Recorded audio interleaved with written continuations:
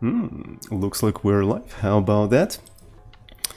Uh, hello and welcome to yet another Zozin session. How about that? So today we're doing something different. Uh, well, today I plan to uh, start working on Porth self-hosting, but unfortunately the recent Twitch data breach uh, actually um, you know, worries me a little bit. So I just don't want to start uh, a very important topic uh, at such time. So I prefer to wait a little bit to see how situation turns out, what kind of measures to Twitch will implement and stuff like that, because I don't want my stream to be interrupted and stuff like that. So uh, I decided to do something different, right? So I decided to uh, pick a simple topic uh, that in case if uh, something, you know, happens to the stream, it's not that uh, bad to lose a VOD, if you know what I'm talking about. So uh, today I decided to do uh, a thing that I wanted to try for quite some time already. I wanted to implement a classical exercise of inverting a binary tree, you know, the, the classical one, uh, the one that, uh, you know, Google gives to people and stuff like that. There's a lot of meme, memes about this exercise, but I want to implement that uh, without using any recursion. I think it will uh, put uh, like an interesting spin on an exercise, and I think uh, it should be possible to pull that off. And as for the language, I um, I think uh, I haven't programmed in Rust for a while, so I think I'm gonna use Rust for this one. Uh, hello everyone, hello everyone, hello Fish, uh, hello Iguduk, Kraftwerk, MM2PL, Lenny Low, Zaylin, uh, Corporate Casted, hello, hello everyone, and welcome to our Zozin session. How about that? Oh, oh, oh. I'm sorry. I think I'm going crazy. So let's actually make a little bit of an announcement uh, for Sin SCD uh, and start coding. How about that? How about that? So I'm gonna do something like uh, red circle, right? Live on uh, Twitch, right? And uh, we're gonna give the link to the people to our Twitch channel, uh, our Twitch channel, twitch.tv slash Zozin, and I'm gonna ping everyone who's interested in being pinged, right? There we go, so everyone who wants to be pinged is pinged, and there we go, there we go. Uh, to, to our channel, that's right, you goddamn right. So let's take a look. So first thing I want to do, as any Rust developer, I have to do Rust app update, right? Because I haven't programmed in Rust for a while. I'm pretty sure they released a lot of interesting features, right? So as you can see, yeah, I need to update my Rust. Um, specifically WebAssembly uh, target uh, thingy, but I don't know. We'll see, we'll see. Mm -mm -mm. Okay. Uh, so yeah, if if Twitch actually programmed in Rust, Borrow checker would have prevented the data breach. So um, this is basically the data breach happened because they program in Go instead of Rust. Right. Borrow checker would have prevented all of that. We all know that.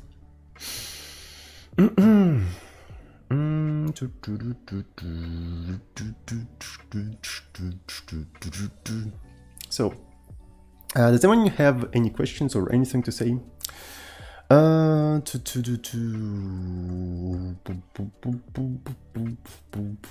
I'm just looking into the chat while waiting uh, um, until my Rust updates. I'm just looking. Uh, so we have a sub uh, by Gia. Thank you, Gia, so, so, much for 28 months I of tier 2. to say ooh. Ooh. thank you, thank you so much for 28 months of tier 2 subscription and uh, welcome to our epic Uwu club. if they used Go generics, uh, that would have prevented the breach, yeah, uh, that's for sure. Alright, so everything seems to be uh, updated and uh, I suppose what we want to do, first we want to implement just a regular uh, binary tree inversion algorithm that is recursive one to have some sort of like a control implementation, like a, a reference implementation. And from that, we're going to try to see how we can implement this algorithm without using any recursion, right? So uh, I think it's going to be interesting. So let me actually close my Emacs and start my Emacs from within the development environment. All right, so we're gonna do, um, so we need to create a folder. So how should we call the project. I didn't think uh, I can come up with any good name, so I'm just gonna call invert binary tree uh, Rust, right? So we're just gonna put main.rs in there, and I'm gonna write a very simple program. Uh, if I remember correctly, this is how you uh, write hello world in Rust, and we can try to do something like rustc main.rs. Uh, it seems to be compiling, all right, and if I try to run it, it says hello world. Would you look at that? So we already implemented hello world in Rust. Uh, we set ourselves for success. All right, so what is a binary tree? Does anyone remember what is a binary tree? Um, so, and how can you implement one in Rust in such a like super safe language where even implemented doubly linked lists is, is very difficult? Uh, to be fair, the reason why it is difficult to implement doubly linked lists is because they sort of form like a, uh, you know, a cyclic reference, right? In case of a binary tree, there's no really cyclic references, so it shouldn't be a problem though, um, right? So Anyway, so a binary tree is essentially like uh, a set of nodes, right? And a node uh, usually has uh, the value, right? Uh, let's actually draw that, I suppose, for anyone who doesn't know what is a binary tree, but I suppose majority of people in the chat and who's watching us right now do know what is a binary tree. Uh, so, but I want to explain that one more time, just super quick, why not, right? Um, so...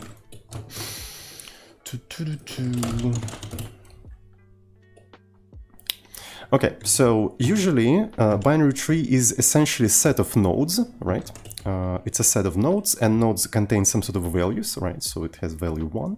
And you, they usually have a, a, left subtree and a right subtree. And the left and right subtree are usually another nodes that contain uh, their own values, and they also uh, have uh, children, right, and so on and so forth. And this is basically binary tree, and it's called binary because each node in the tree has two uh, children, right? So, binary is two, so two children, it's a binary tree. So, and the idea of inverting binary tree is essentially if you have a tree uh, that looks like this, uh, one, two, three, four, five, six, seven, right? So here's your tree uh, essentially what you need to do, you need to flip it uh, horizontally, right? So it will become something like uh, 3, 2, if I'm, if I'm not mistaken, 7, uh, 6, uh, 5 4 so it will uh, it will be basically flipped. So this is the idea. So you have this tree and you have to uh, flip it horizontally. And usually it's a relatively simple exercise if you know how to do recursion if you can think recursively. But today we're going to try to do that without any recursion. But first as a control implementation we're going to implement recursive one. So let's introduce uh, a data structure for the binary tree. How about that Uh, so, uh, if I remember correctly, how do you do that? You define an enum, right? So we, we can do that via an enum, right? So this is going to be a node, and uh, since we want to store whatever, uh, you know, whatever the user wants in the node, uh, this entire thing is going to be generic, right? So this entire thing is going to be generic. And a single node, I suppose, is going to contain the value of t, right? And uh, it is going to own that value. And then it is going to contain a left subtree, right, some sort of a left subtree, node t, uh, and the right subtree.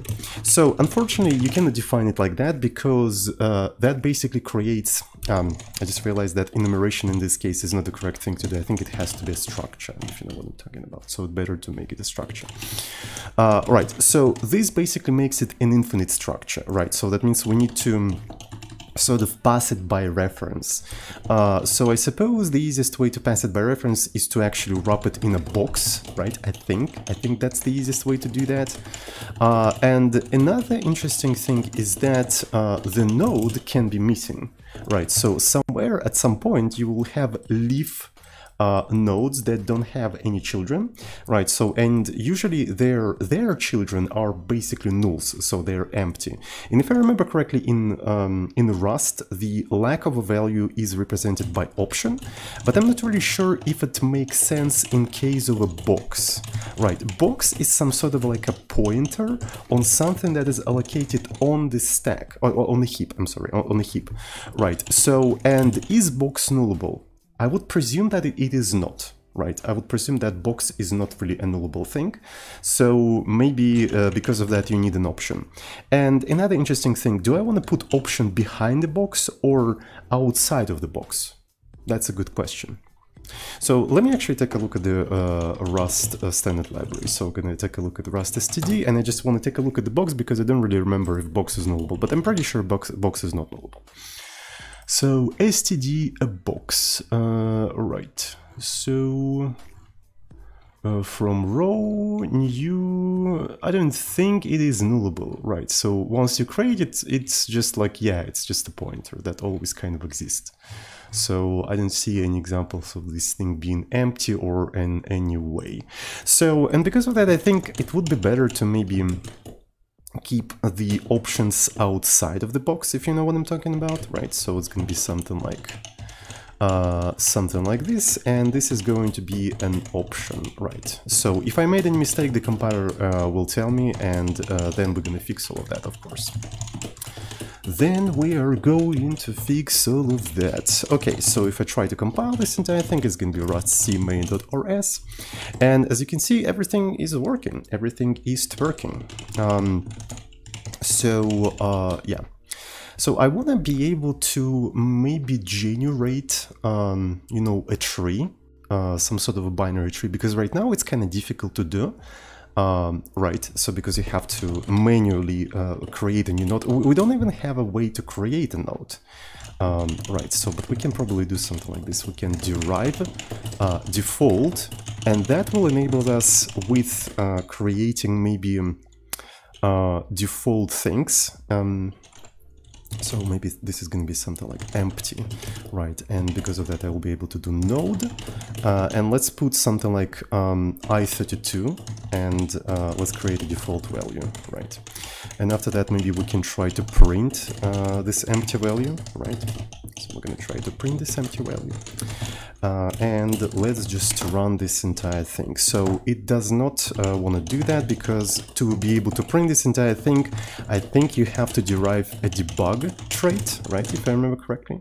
And there we go. So as you can see, we have a, like an empty thing. Uh, but again, so creating this kind of thing and initializing everything like manually is not particularly great. So let's write some functions that generate um, generate the tree.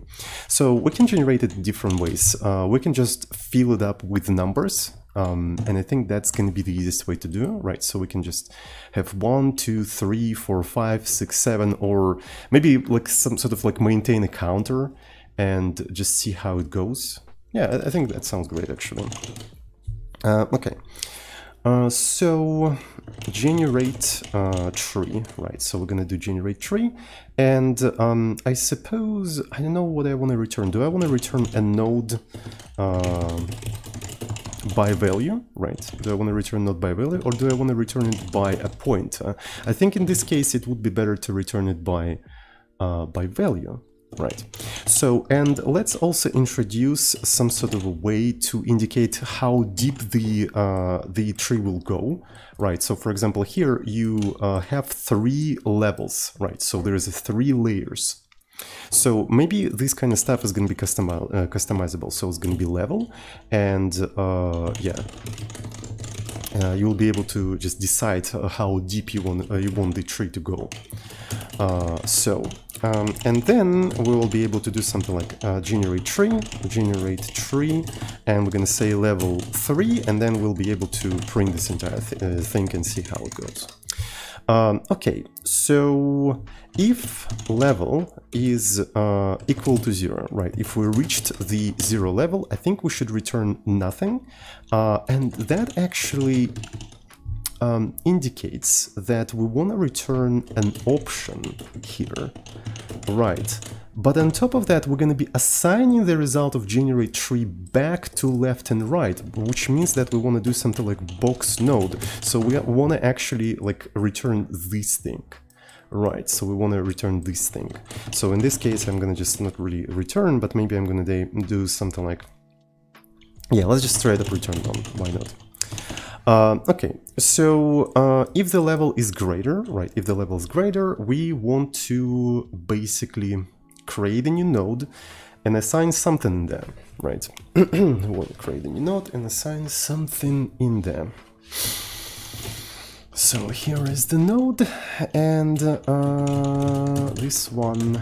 So the question is what's going to be the value? For now we can set the um, the level as a value, but at some point we'll have to have some sort of a generator if you know what I'm talking about, right? Um, so uh, we'll see how we can implement that. So in this one it's going to be i32. So and then um, how do I want to assign that? I actually want to do something like left generate tree level minus 1 and then right uh, generate tree level minus 1. But the problem here is that I'm not sure if this entire thing is how to say that uh, is going to be performed in a particular order. But maybe it doesn't really matter.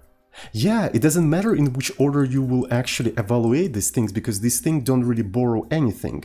And as we introduce the uh, the counter that will have to pass uh, over this function, this code will not compile anymore. This is actually very freaking interesting. So this will not uh, really cause any borrow checking problems and the compiler will execute this kind of stuff in any order it wants. But then we're going to introduce something and uh, it will stop working. This is actually very interesting. I really like that. Huh. Okay, so, and uh, that means we can do something like box uh, new, right? So we can wrap this in into a box, and then we can wrap that into a sum, right?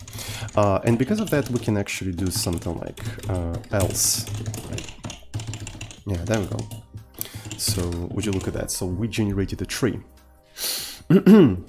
professional Rust programmer already 10 steps ahead of a borrow checker. Yeah, it's kind of interesting, right? So programming in Rust kind of like trains your brain to think how the borrow checker will react to this kind of stuff.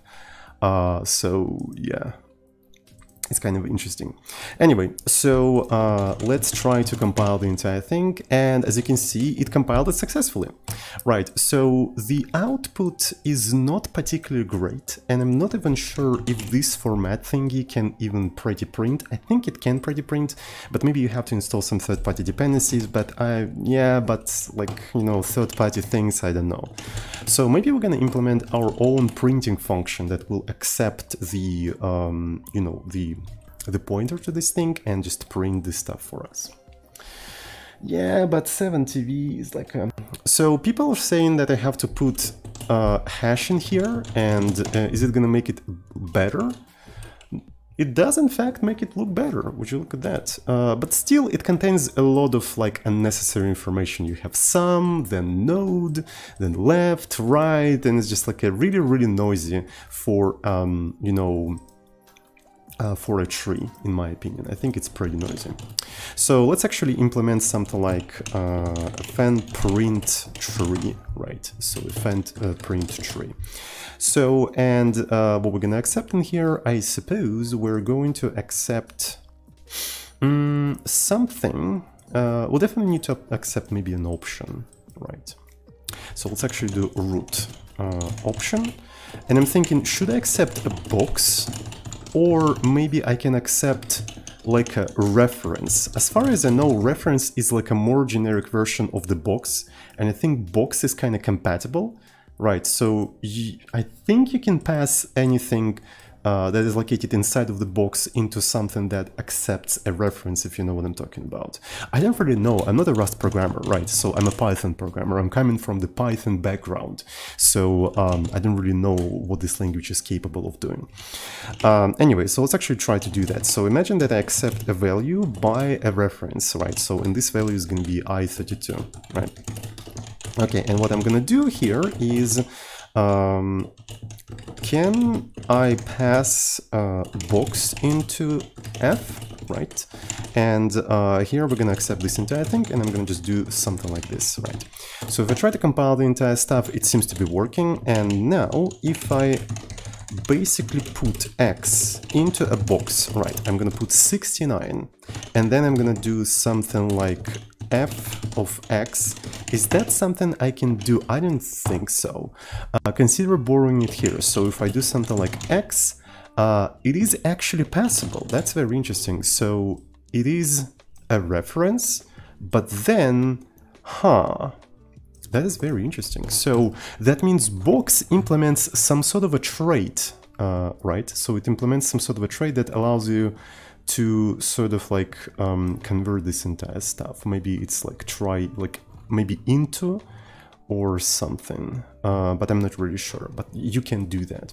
The question is, can you do this kind of stuff? Uh, it's called deref. People tell me that it's called deref. Okay, so uh, so I do remember that there was like some sort of a trait for this behavior. Uh, use immutable dereferencing operator. Immutable dereferencing, but it's not really dereferencing, right? So is the dereferencing responsible for that? Anyway, the question is that I'm really interested. Uh, can I do stuff like this, right? Can I still pass stuff like this?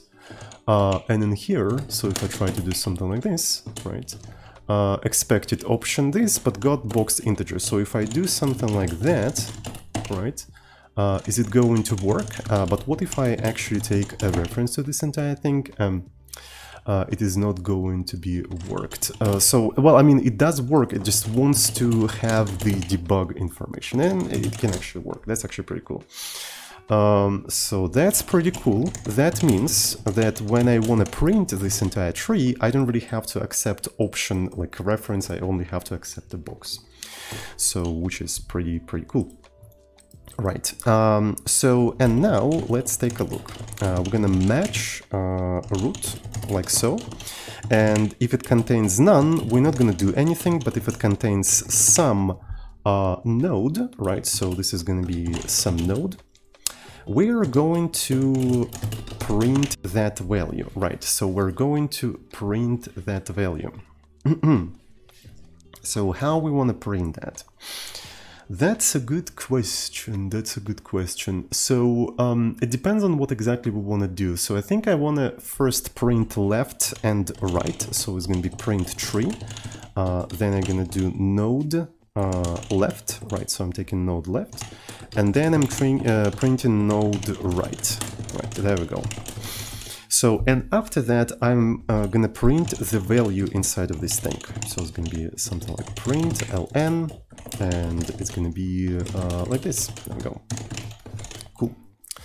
Uh, two, two, two. So this is the tree, and print tree, tree. There we go. Uh, so, and now, if I try to do this kind of thing, it does not compile, because why? Um, mm, mm, mm, mm. Yeah, I think uh, I think it would be easier to just accept the box in here, right? So I don't really care much. Uh, let's just accept the box and it will make it easier. Okay, so basically what we want to do with this output is we want to have a different indentation depending on the level. So the deeper you are inside of the tree, the more indentation you have, right? So, and we need to keep track of that uh, indentation. So let's introduce something like level, uh, and it's going to be usize. I wish Rust had like default parameters. As far as I know, it doesn't have default parameters for whatever reason, but this is what it is. So, and we start at level zero, right? We start at level zero, and uh, for a zero level, we should have no indentation, right? And as we go deeper, we increase the level, right? We increase the level and hence increasing the indentation. So, um, there's probably there is a way to like put some sort of like a weird thing in here and uh, you know have a proper indentation, but I don't really know how to do that. And it, to be fair, I don't really care. So let's actually have a for loop. Uh, so we're gonna have something like this in uh, zero to level, right? We're gonna simply print uh, two spaces. I think one level is gonna be two spaces, uh, right? And then we're gonna print the value, right? So, and if we take a look at this entire thing, uh, it does not even compile. I wonder why. Um, I, I suppose to actually put zero in here. Yeah, there we go. So I have zero in here, and there we go. So this already looks like a tree. So it's sort of like a tree on the side, if you know what I'm talking about, right? So a tree on the side, so here a tree like standing up, and here we actually, you know, cut it and it fell off on the side. So it's like a fallen tree. Uh, right. So, and you can kind of like visualize the, the branches in here, right? Uh, you can kind of visualize that. And then you can uh, increase the amount of levels. So we can say that it's going to be uh, four levels, uh, right? And it, it kind of looks like a tree if you think about it, right? So it's just like, yeah, that's that's a tree. That's a binary tree. That's pretty poug. Isn't that poug, fellow kids? Uh, I think it is. But here's the problem. Since uh, all of the nodes on the same level have the same value, uh, if you flip that tree, it doesn't change. So this tree is useless for the purpose of demonstration of the inverting binary tree algorithm, if you know what I'm talking about. uh, so. Mm-mm. Uh, to, to, to. Um, all right. So what I want to do instead, I want to actually generate a tree that has like a single counter, right? So we need to introduce some sort of a counter, and as we like recursively go uh, throughout the tree, as we DFS the tree, it will increment and create like a unique value for each individual node. So when you flip the tree, it's actually different. You see what I'm talking about, right? So let's go ahead and do that. Let's go ahead and do that. Um, so generate tree. So we want to maintain some sort of a counter, right? Um, and uh, usually what I do, I pass the counter as an argument. Uh, right, and since as you go down into recursion, the counter may change, we have to pass this counter as mutable value, right? There we go. So maybe we're gonna do something like uh, i32. Uh, all right, cool. And um, now, uh, what I want to do, I want to use the value for the counter, right? So this is the counter, and uh, after that, I need to increment the counter. Um, so, and this becomes a little bit complicated, just a tiny bit complicated. That means it's better to put the node somewhere in a separate variable. Okay, so let's actually do something like node uh, and do node default. Right, so I'm just creating the default node. Then for the value, I'm gonna just create a counter, right? And then I'm gonna increment the counter, right? Uh, and after that, uh, I'm gonna generate the left subtree, so level minus one, counter, uh, and I'm gonna just assign uh, that to the left subtree. So you see now um, this function is going to update the counter. As we go down deeper deeper in the recursion is going to become bigger and bigger. And then once we're ready to generate the right subtree uh, we're passing the updated counter in here. There we go. So this is how we're going to approach this uh, this kind of stuff. And you won't be able to actually use that syntax that we used before because uh, you have to borrow the counter like one uh, once at a time. And I hope this will work. I'm not 100% sure, but I hope it will work. So, and then we can create a mutable counter that starts at zero, uh, right? And maybe pass it uh, like so. There we go. So we have a counter and you keep track of the of these things, right? And now, so how many levels do we want to have? Let's actually have three levels and uh, it does not even compile. Nice. So uh, I suppose it has to be... Oh, there's no default um, value for i32. Really? That is very interesting. So it's not implemented for immutable i32. But why is that supposed to be immutable i32? I'm not quite sure. So uh, also I forgot to return a node inside of a box, right? So I have to do it like that, uh, I suppose, and uh, it's still complaining. Why it is mutable? This is really, really sus, not gonna lie. This is really, really sus. I mean, in any case, I can just like set a value to something, right? Uh, I can just set the value to something, and it is going to be uh, ah, I see. I see why it is mutable, because I'm modifying these things. Okay, so I'm modifying this thing, and that's why it's mutable. Alright. So that makes sense. Um, mm -mm, but uh, it doesn't really change that much stuff. Alright, so let's actually do something very simple then. So the value is going to be maybe uh, like this. So the value is going to be a counter, which means that I don't have to do this kind of stuff. And then left is going to be uh, none and the right is going to be none, right? So something like this. Uh, let's see if it's going to do anything. So the counter cannot be applied to... Uh, okay, so that means I have to dereference this entire thing? Sure. Uh, and then we, as we generate, um, mm -hmm, mm -hmm. oh, oh, I think what it wants is, this is really, really interesting. So I want to copy the node in there. I want to actually be able to clone that thing in there. Huh, that is very interesting. Mm-hmm. So, um, probably. So expected mute i32, but found i32.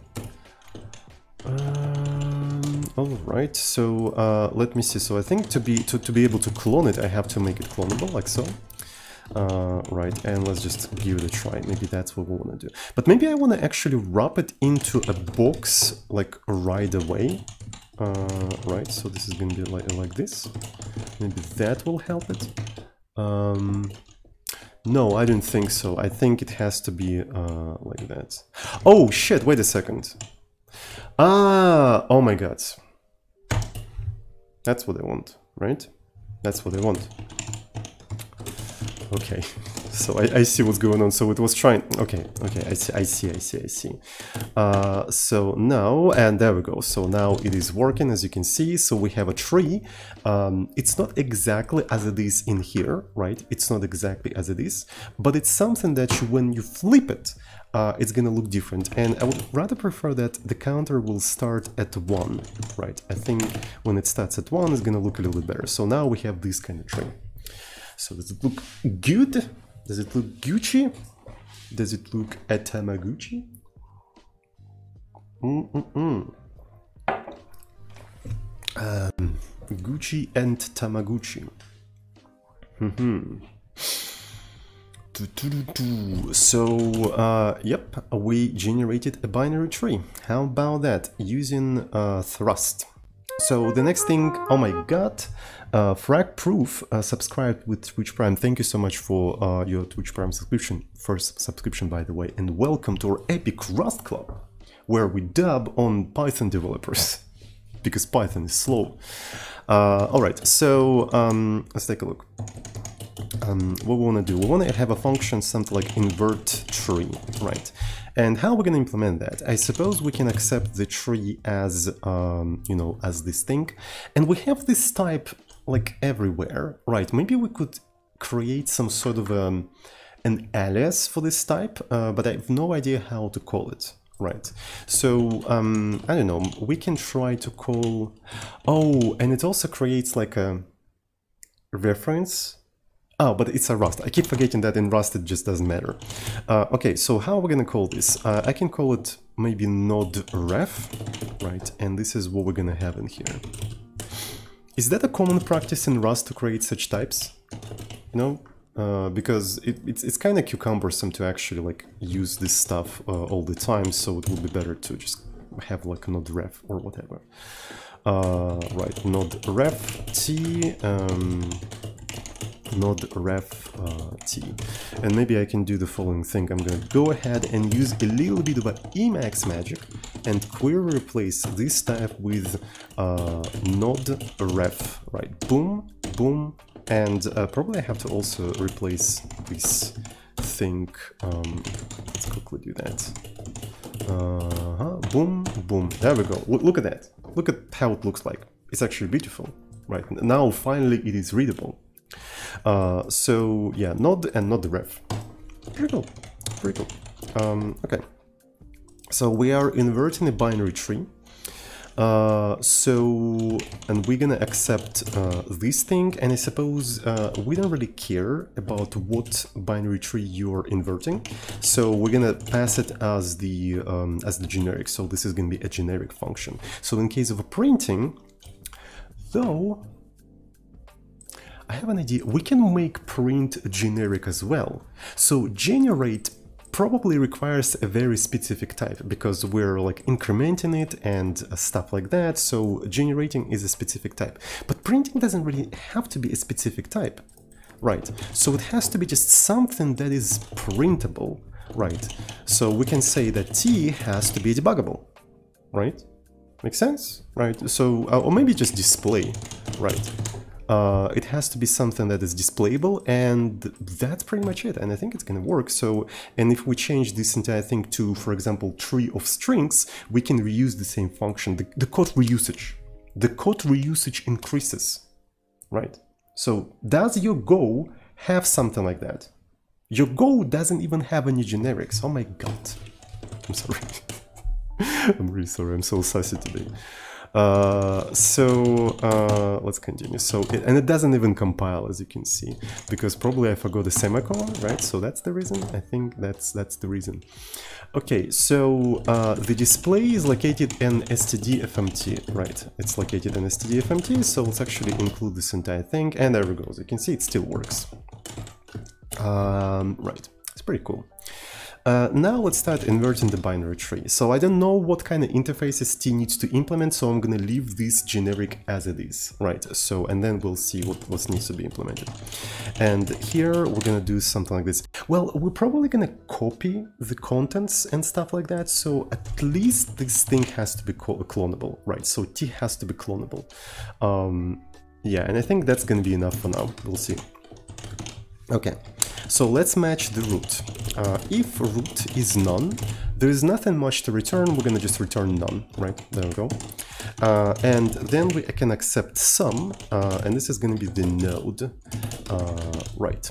So what we're doing in here is essentially we need to create a new node, I think. Uh, right, we need to create a new node. But the question is, what's the easiest way to create a new node? You know what? I was avoiding creating constructors for the node, but I think the time has come. Mm, still, I think the time has come.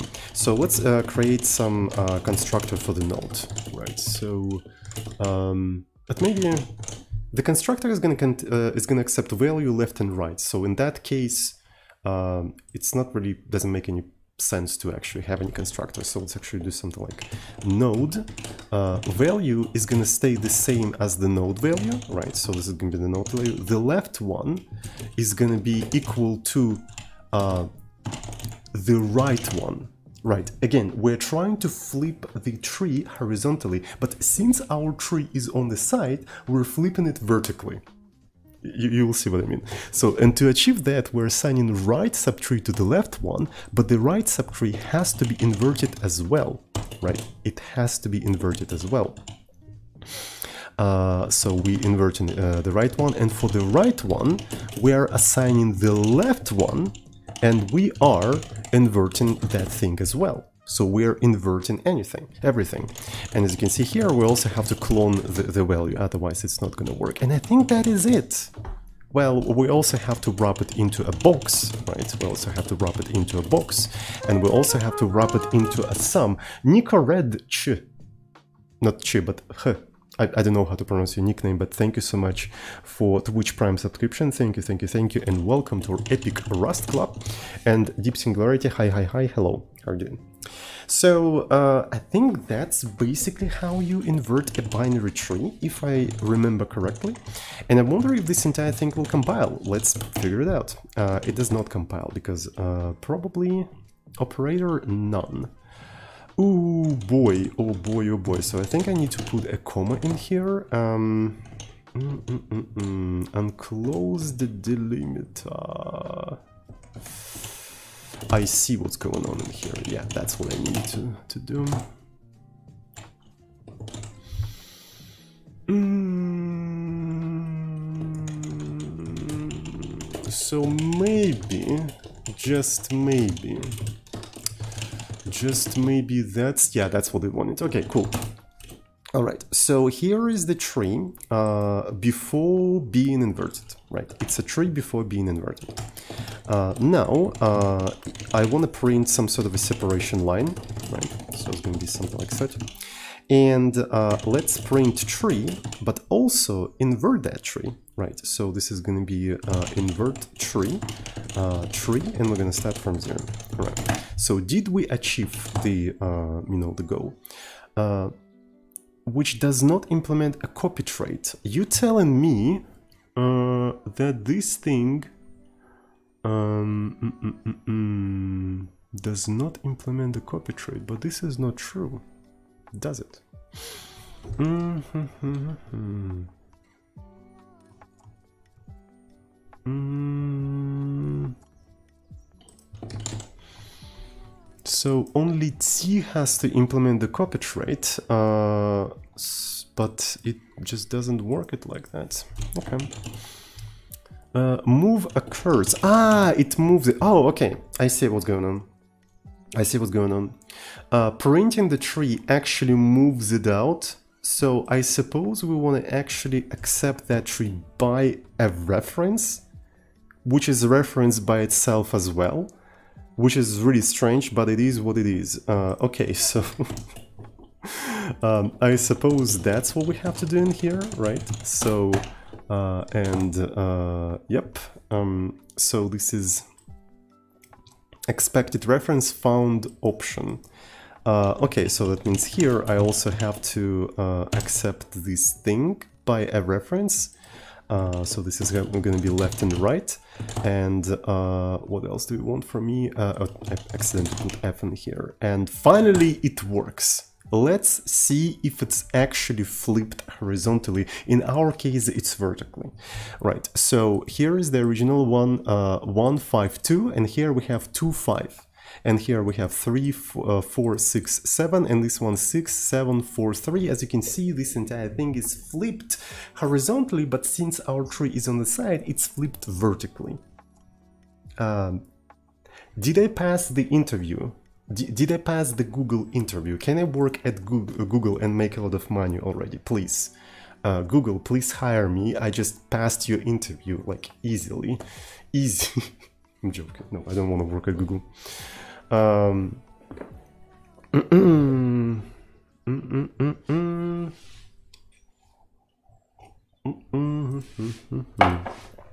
okay, so we essentially implemented inverted binary tree.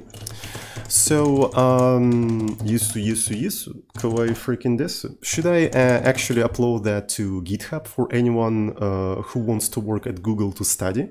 Right, if you be, will be able to implement that in Rust, you instantly get, get hired by Google, seriously. Uh, Insta, uh, InstaFang uh, developer. Um, okay. Uh, to, to, to, let me actually, uh, you know, upload it. So I'm gonna release that under MIT license, so it means you'll be able to do whatever you want from it, uh, with it. And, uh, right, um, invert uh, binary tree implementation, uh, implementation in Rust, right? So we're gonna have something like a quick start and in a quick start, we're gonna have, uh, you know, rustc. As you can see, you don't even need any cargo to invert a binary tree, right? So people think that you need to install some sort of third-party dependencies that inverts binary tree for you, but you don't you don't need to do that. You can just do that yourself, right? So and uh, there we go. So and then I want to also git ignore uh, the main executable, right? And let's just do git init, uh, right? Let's just do git init. Ready, ready, set, go. Wait a second. What the hell is this shit? No, ready, set, rust. Imagine programming in Go in 2021, cringe. Alright. So, uh, let's, uh, to, to, to, to, let's create this thing. Uh, invert uh, binary tree in Rust. Uh, then I'm gonna just put this in the description and uh, this entire thing is going to be public, of course. This entire thing is going to be public and let's uh, go ahead and add origin. There we go. So, uh, a boom. Um, Twitch is going to switch to Rust now. Exactly. borrow checker, I'm telling you, borrow checker would have prevented the data breach. anyway, so um, you can find the source code of inverting binary tree here. Uh, I'm gonna post it in the chat. And for people who's watching uh, on YouTube, uh, I'm gonna put that in the description, right? So we're gonna have something like um, source code, right? So here is the source code. There we go. It's pretty cool. So maybe we also need to, um, you know, update the command. Uh, right, so let me take a look at the, uh, the command, and here is the command, uh, right. So here is the command, uh, I want you to start blah blah blah, so or um, cmd project or um, one or sender, right? So if you didn't provide any command line argument, use the sender as an argument in here. Um, so wanted to try that for a while, so then pause. And here we're gonna have a source code, right? Source code, and you will be able to find the source code in here. Mm.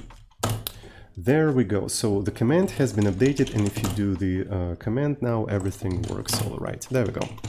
So the next step, right, uh, as we implemented the control algorithm, right, as we implemented the control algorithm is to try to implement the same thing, but without the recursion. How can you do that actually? This is a very good question. How can you implement this kind of shit without the recursion? Um, right. Uh, so let's go ahead and change the title of the stream, uh, inverting binary tree um, without recursion. Ah, uh, without recursion. Uh, I'm not even sure if it's going to be easy using Rust. I may actually fail miserably, but at least I want to try. So uh, the first thing we can try to do, we can try to print the binary tree without using any recursion. So the only reason why we need to um, to need to need to use recursion in this particular case is to maintain a stack of the nodes, right? So this is basically how we are working in here. So to to to if you follow how the um, how you traverse the tree recursively. If you actually follow how it is traversed recursively, you will notice a very interesting thing. You will notice a DFS pattern. Um, okay, so I think I, I, know about a very cool demonstration, right? So let's just take uh, the current tree that we have. Uh, right, so the current tree is 152, right? So let's actually split everything in here.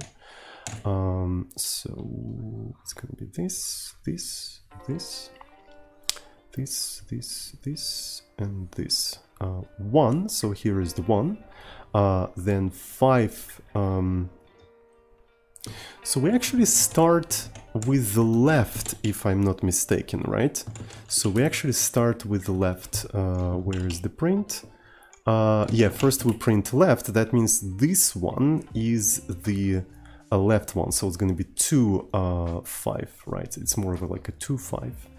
Uh, and for the 2, um, it's going to be 3, 4, um, 6, 7, right? I think if you, it's not even like on the side, it's also kind of flipped already, uh, right? So think to make it like more appropriate, we have to first print the right one and only then it will look kind of on the side. So it has to be right left, I think. Yeah, I never thought about it actually. So let's actually do rustc main.rs and there we go. So that, that looks a little bit more correct. So now uh, if you sort of rotate it visually, 2 is on the left and uh, our tree uh, that is in here it actually corresponds like one, two, five, three, four, six, seven. Okay, so we have this tree. Uh, cool. Now, what I want to do, I want to um, traverse the tree, but I uh, want to print uh, in which order we uh, sort of visit the nodes, if you know what I'm talking about. Right, visit uh, nodes. So in here I'm going to accept the display. Uh, here to have root node ref t uh, do we need the level? I don't think we need the level. We just want to visit these things. Uh, this is going to be match root, uh, some node, uh, right, so some node, and uh, we're gonna simply print that node, nothing special, just the just the number. Um, so it has to be displayable node value, right? Node value, and after that we uh, visit the right subtree, right, the right subtree. Uh, actually, left one, we have to visit the left one, and then the right one. So we visited the right first just to visualize that a little bit better, but, but in reality we want to visit uh, the left one first. Uh, Alright, so and then uh, in case of a none, we just don't do anything, right? So we just don't return anything. Cool. So we're visiting the nodes. Uh, so here we generate the tree, uh, right? And then after we generated the tree, we want to visit the tree and see in which order we uh, visit the nodes, right? So uh, doesn't really work because if I forgot this thing. Luckily, the compiler actually tells me uh, what needs to be done in here. And there we go. Okay, so yeah, here is the tree. And this is the order of the uh, nodes that we're visiting things in. Actually, we're visiting them in like a straight order. Probably because we're generating them in this order as well. That's actually very interesting, didn't think about that. But here's this thing.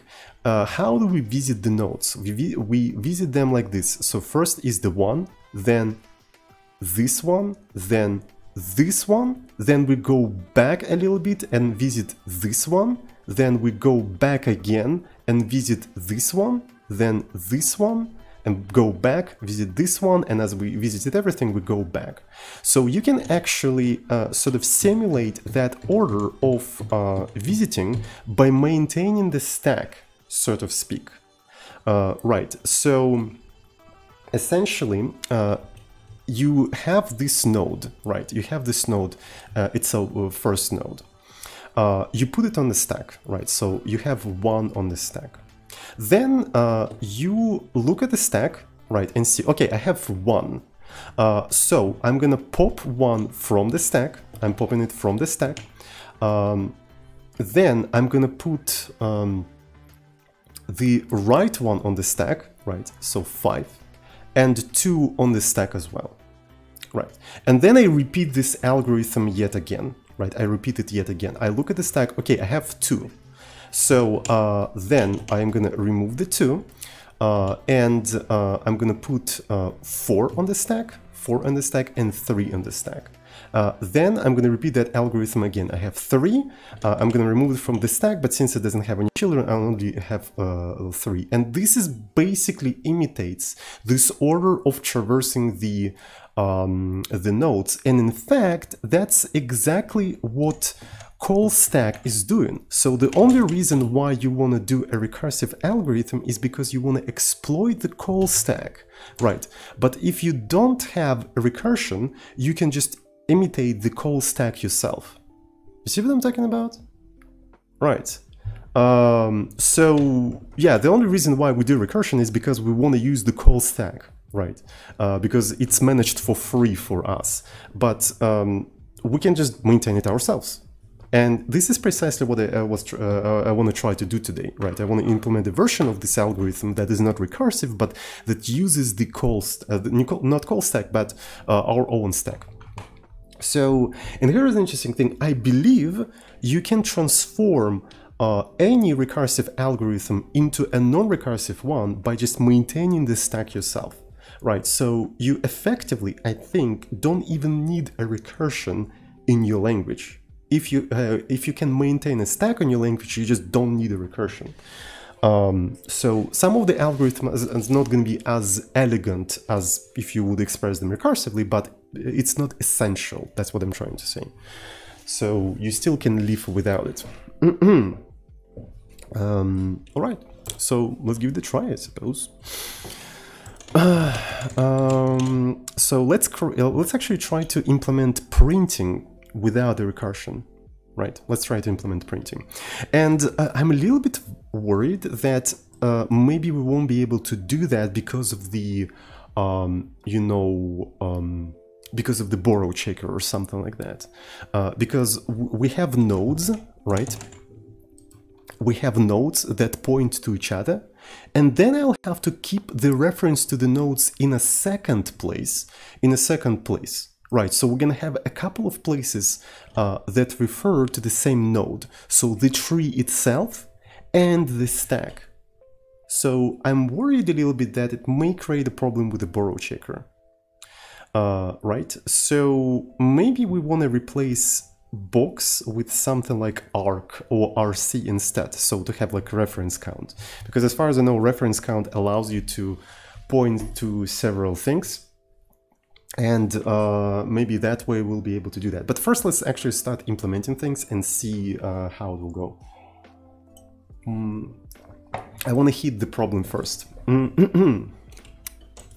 okay so we're gonna have uh, a fan print tree, and uh, of course this is gonna be displayable, but let's actually say uh, non-rec, so non-recursive. Uh, and this one is gonna be something like this, uh, node ref uh, t, and here's an interesting thing, we can actually maintain the, the level ourselves um, within the function, so I don't think we need to actually pass that thing in there. Um, all right, and now Mm.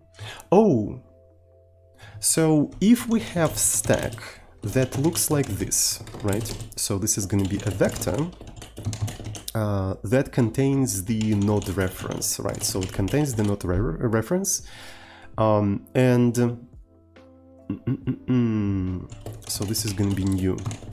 Uh, every time we need a level, we can take that level from the size of the stack Hmm. From the size of the stack. This is actually pretty cool. I really like that. So, okay. Um, so this one is rather interesting. So we pass it by a reference, uh, but maybe I also have to keep it as a reference. But the following idea is, is this. Uh, I push the current root like this, and while stack is uh, not empty, I'm pretty sure like vector has something like not empty. If it doesn't, we're gonna we're gonna implement it slightly differently. Uh, while it's not empty, I'm gonna take the note. Uh, so right now, I, I know that this code won't compile. I'm just outlining the logic um, that I want to actually print. Um, so I'm gonna pop the element from the stack, uh, right? I'm gonna pop the element from the stack. Oh boy, oh boy, oh boy. So this one is rather complicated because I don't think I will be able to print the tree like this but I can try to print in different style. Uh, so essentially I can do println. Uh, right, I'm gonna print the node uh, and I'm printing the value like so, right? Um, I'm printing the value like so, and then I want to push uh, root right and then push root left. Actually, not root, the node. There we go. So, and it will you know, keep repeating until uh, it will exhaust the entire tree, right? It will repeat until it exhausts the entire tree. Um, okay, so, and we don't have any uh, leveling right now, but I'm gonna implement it a little bit later. So first I wanna make this code compile and then we'll see. Okay, we're generating the tree, we print the tree as it is, and then we can try to print the tree in a non-recursive, uh, you know, manner. Right, there we go. So printing the tree. That's pretty cool. Uh, okay, so let's see how horribly it will fail. Okay, so there is an associated function uh, called is empty, uh, right, not is empty, uh, and uh, so this is the value, uh, no field value.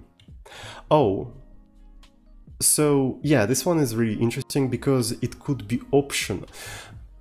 Yeah, this is really strange. so node ref can be null. So that means the only reason why I want to do that is uh, the only case when we want to handle all of that if it's not uh, null. Right, so we have to do something like this. I think that's a little bit easier. Uh, we got a rate from Provat. Uh, thank you so much, Provat, for the rate. Uh, how was your stream, by the way? Hello, hello. Um, hello, hello, hello.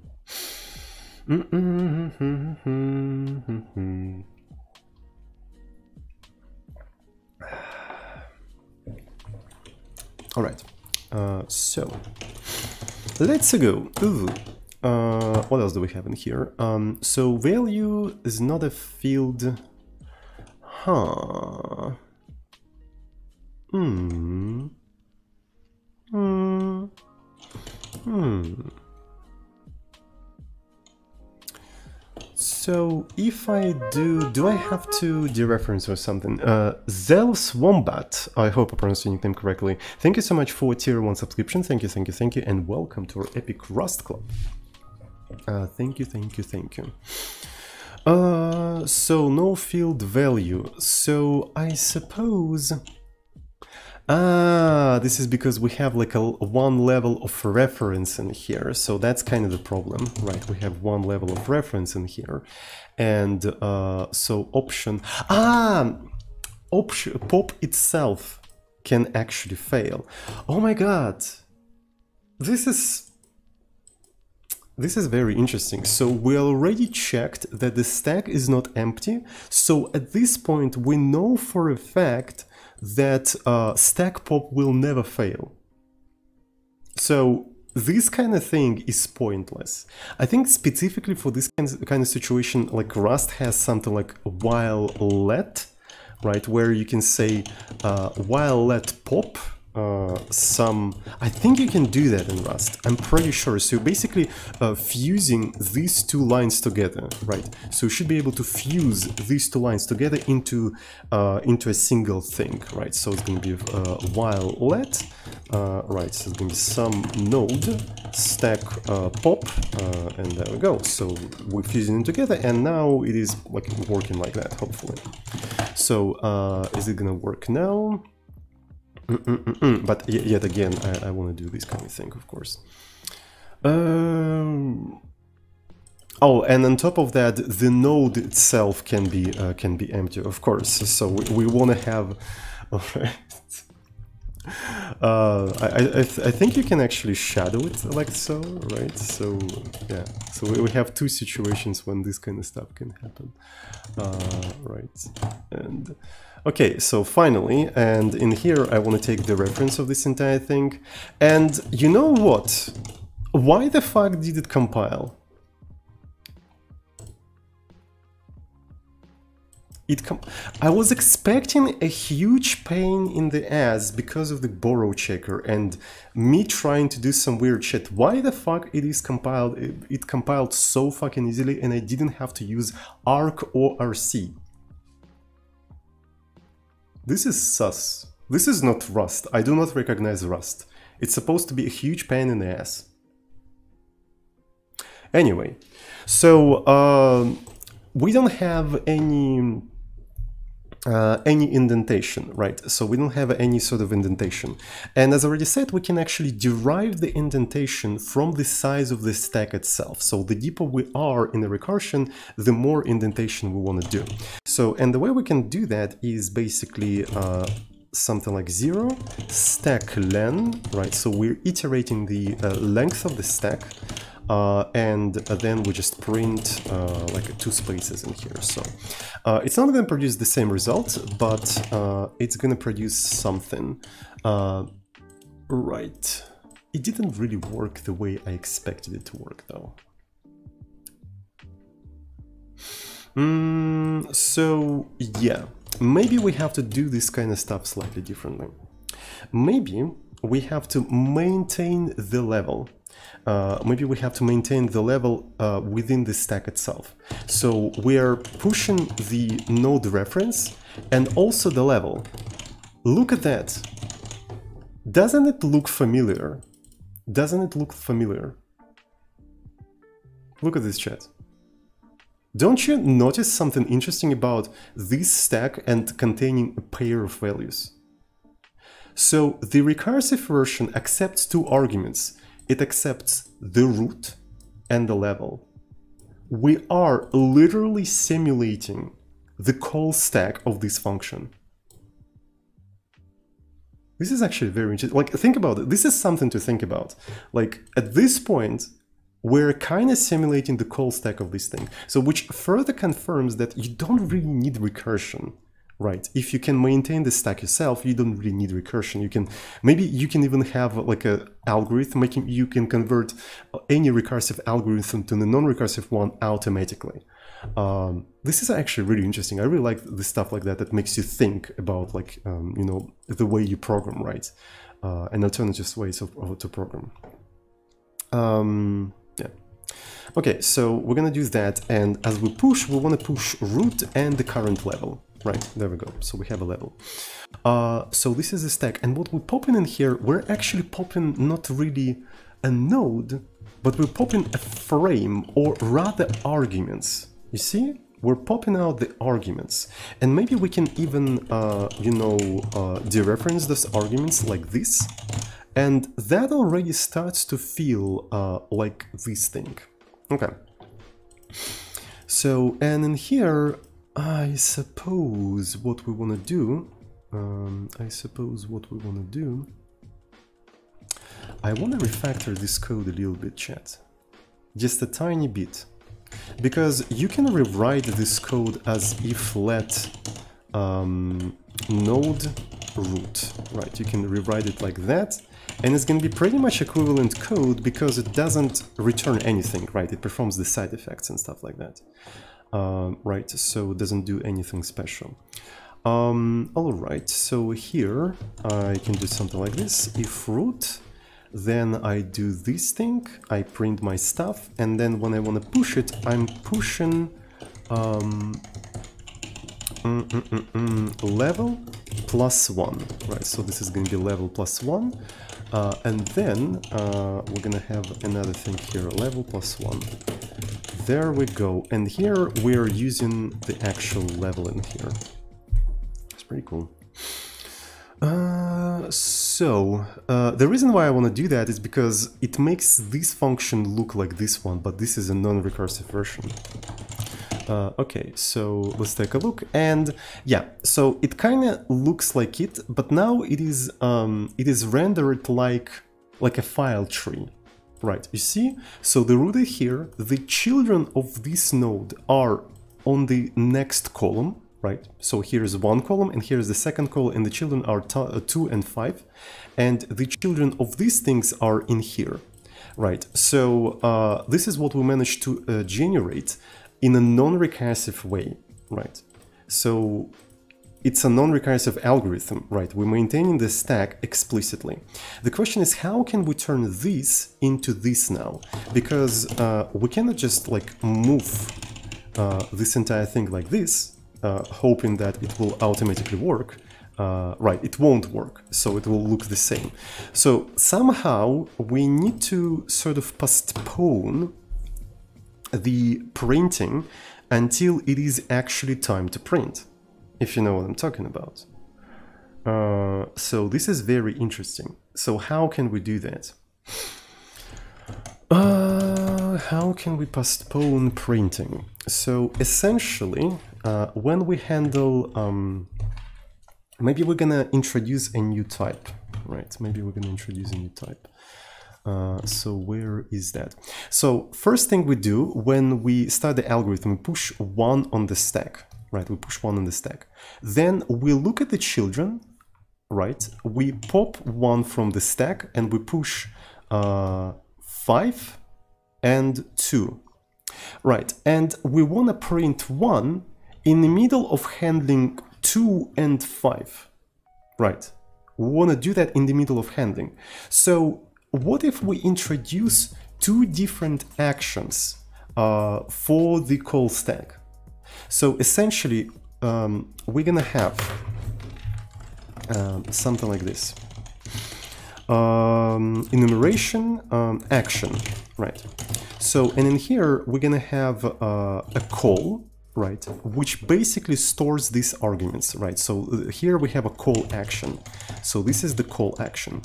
And uh, the second action we're going to have is uh, print action. Uh, and the print action I suppose prints the t. So here uh, this thing has to be like this. Um, so and essentially on the stack we're gonna hold this stuff. So this is gonna be action t. Uh, and then when you push in stuff on the stack, right? here you uh, receive an action, right? So you receive some sort of an action, and depending on an action, you're gonna do different things. Um, so we're gonna match action. So here you're gonna have a call, uh, right? So this one is gonna be root and level, and this entire stuff uh, goes there. Uh, right, this entire stuff goes there. Uh-huh, uh-huh. Right, right, right. There we go. Um, and print uh, contains the value, and the actual printing in here is to happen in here, right, like this. Uh, so that's a very interesting thing. So does that mean that I want to actually store like a reference in here? Oh man, this one is going to be actually tough. Um, this one is going to be tough because um, if you start having references in here, if you start having references, um, you have to like work about li- uh, like think about lifetime of the action and stuff like that.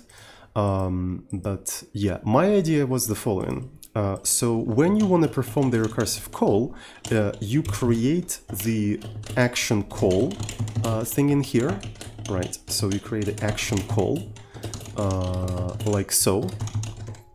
And if you want to print, you push uh, action print and uh, you print the value like so.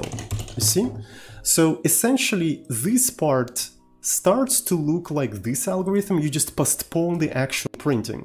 You postpone the actual printing and the printing is going to happen when you actually reach that action on the stack. Does that make any sense? Mm, does that make any sense?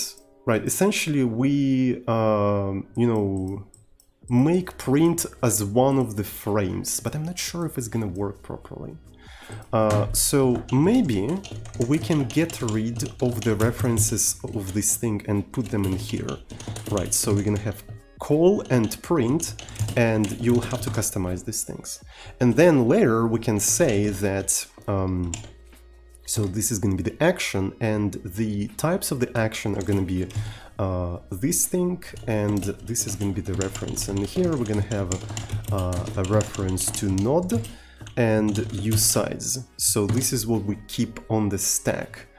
And you know what? This looks like something that can be generalized right? We can essentially generalize that for any recursive algorithm, and maybe because of that we want to rename this to uh, from print to handle.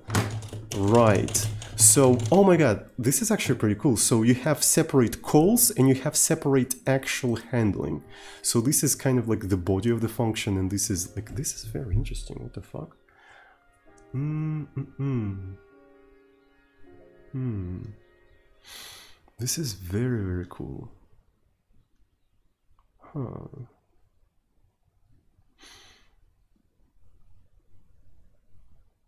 Anyways, so um, let me let me see. So uh, can we even compile this entire shit? Okay, so it's not compilable uh, because this call is this stuff, uh, and in here, uh, right? I can just rename it to like that. Uh, so call, uh, it's actually action. So maybe I can just do something like use, um, use action and just like import everything from this thing so I don't have to do it like that. Uh, right, so it's gonna be like this. And uh, okay, so it's almost compilable. Uh, this one is called handle. Uh, right, so and this one, aha, I see. I see, I see, I see, I see.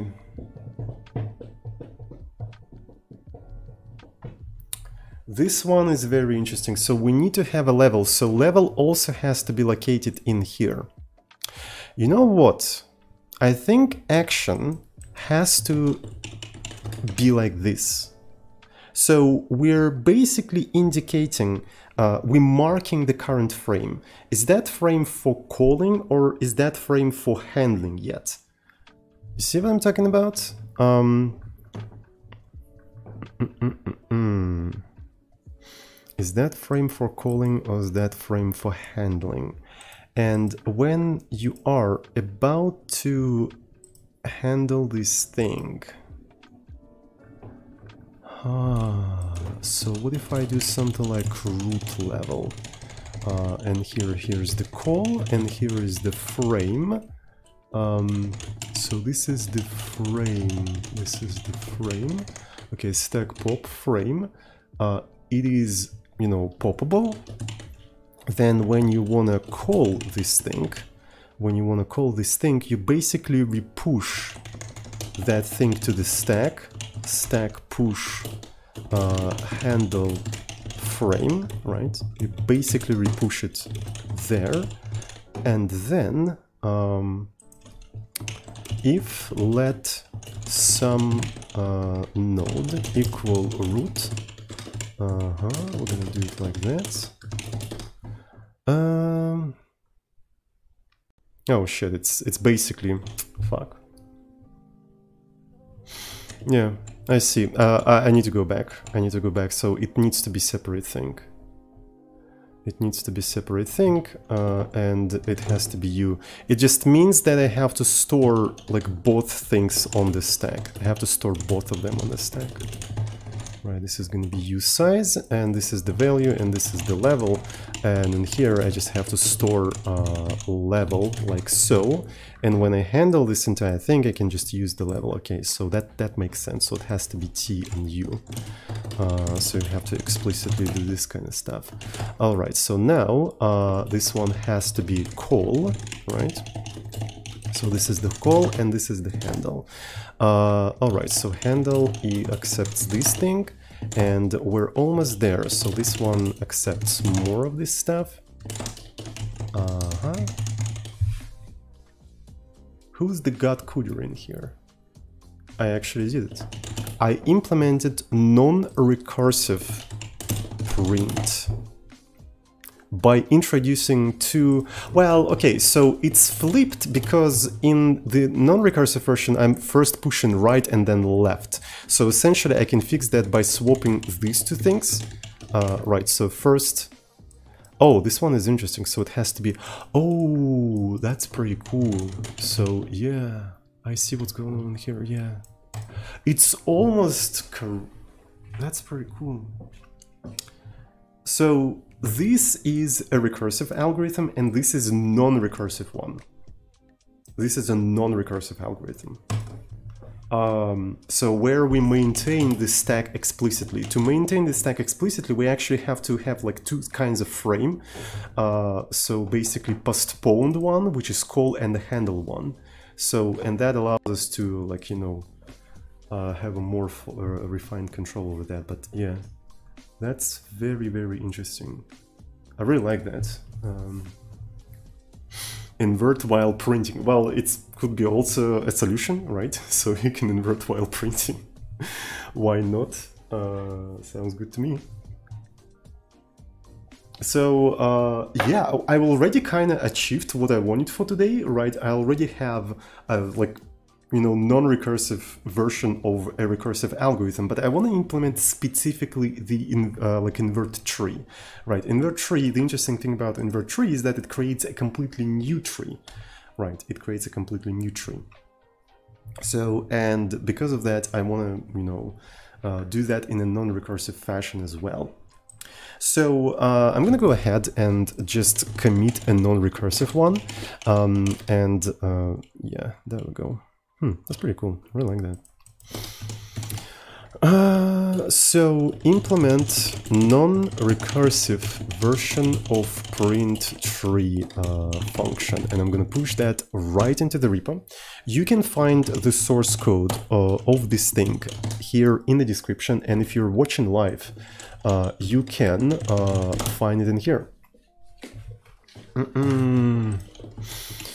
Uh, you can find it in here. People say that I have a typo, and here's an interesting thing. If I had a typo, I'm pretty sure uh, the compiler would tell me. So people saying that I have a typo on line 35, um, which actually makes me question, why the hell the compiler doesn't tell me anything about that, right? So if it is an error, why? Well, there's probably a warning. Oh, okay, so it does tell me as a warning. Okay, so maybe, maybe I have to do something like none. But to be fair, uh, we can completely get rid of this entire thing because it's more of a like a if let, uh, you know, root. Uh, let me see. Uh, can remove this entire thing. There we go. Cool, we don't even need that. But what's interesting is that we don't even need this function at all, right? So it's a useless function. I only introduced that function as a way to demonstrate like the order in which we are traversing everything. So we can just remove this, this entire stuff. Okay, so we have an invert tree. Uh, maybe I'm gonna actually do something like allow uh, that code, right? Because I want to, uh, you know, keep this thing. Uh, and there we go, right?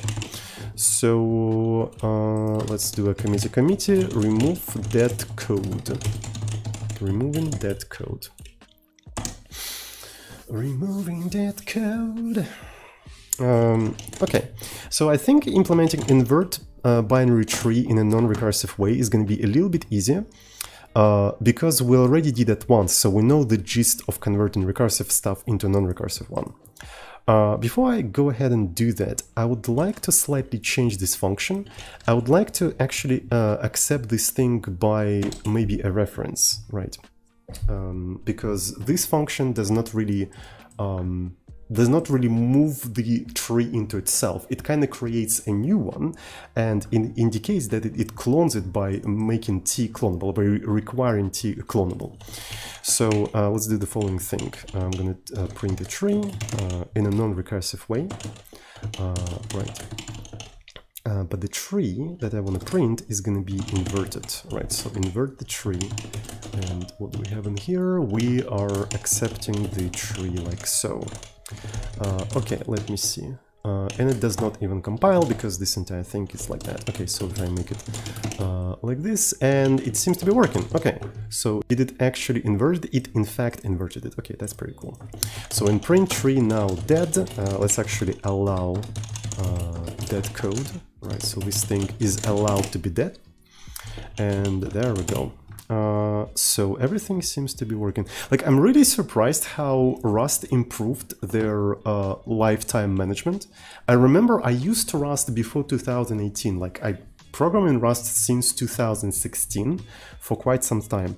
And Rust in 2016 was unbearable. It was a huge pain in the ass, and the lifetime management was just like literally unusable. Uh, but the modern Rust has actually fixed a lot of problems that they had, uh, you know, back in the days. So I'm really surprised. Anyways, so let's go ahead and introduce invert tree. Uh, and this one is going to be a non-recursive one, right? So it's a non-recursive version of this thing. I'm going to accept the root, not a reference, and uh, we're going to return a new node reference. Uh, all right, so, and then here we're to do the similar thing. We're to introduce the stack, right? So it's to be a mutable stack, which is uh, a vector, right? So this is the vector new. So, and I think I'm to use the same sort of like a action thingy, um, right? So, and this is going to be the action. And the call uh, action is going to accept the uh, reference to the node, right, the reference to the node, and do we need the level? I feel like we don't need the level, right, so yeah, we don't need the level, cool. And the actual, um, the actual value that we want to do in here here's the question. So what we want to do with the actual value? Do we want to even have an actual value? Mm -mm. i feel like we don't need a handle. So to indicate that i think i'm gonna actually put a unit in here. Right because right away as we perform the call we'll be able to uh, actually do something with that. Uh, though, hmm. Oh, I think I know what's going to be the call. The call is essentially going to be assembling the final node. Right, that's going to be the call. Oh shit, so here is the... Like, I don't even know how we're gonna return the final thing in there.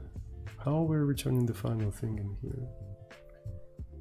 Uh, so what's going to be the return value? Hmm. That's something to think about. Huh, I think I need to go back to the drawing board. This one is interesting because uh, we only converted the function that doesn't return anything, right? Um, it doesn't return anything, but now we have a function that returns something, um, which makes me question, what the hell? Mm, what the hell? Okay, so we have something like this, uh, right? We have something like this. So it's to be one, um, right. So we try to handle one. then um, mm, mm, mm, mm. it's gonna be 5 2 then we're gonna take 2 and it's gonna be 4 3 uh, and essentially uh, after that as we encounter 3 as we encounter 3 we need to sort of mark it as the return value. So this is like the new return. Uh-huh. Mm, through what are we returning everything? It feels like maybe we want to maintain the return function.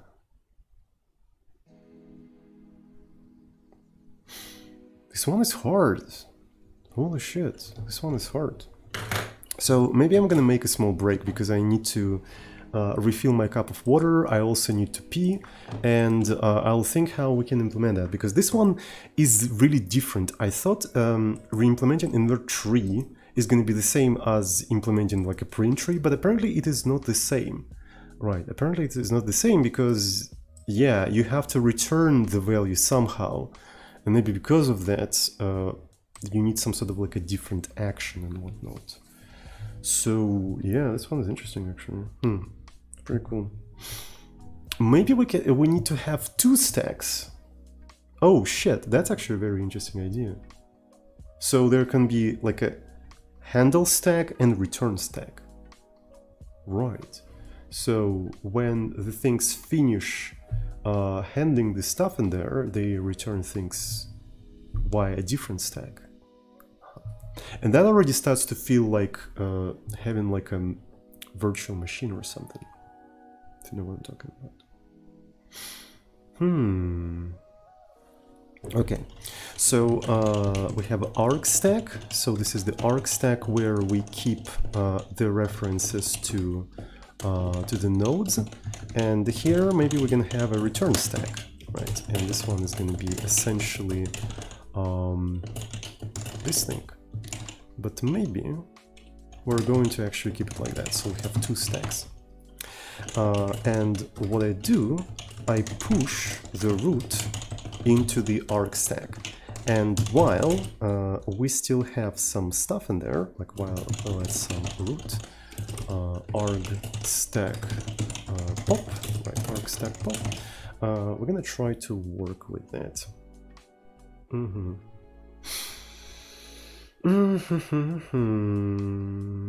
so, um, all right.